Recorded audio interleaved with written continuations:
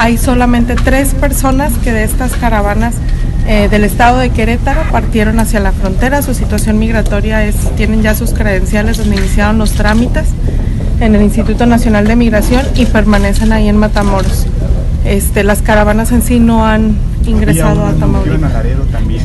Se fueron a Piedras Negras. No tenemos hasta ahorita reporte de que vayan a entrar. Todas han ido a Piedras Negras, salvo el caso de estos tres personas que si mi memoria no me falla son originarios de Honduras este, y están ahí en la ciudad de Matamoros. Han estado repatriando gente, ¿verdad? Seguimos seguimos este, con, con los mismos números. Este año en comparación con el año pasado ha aumentado.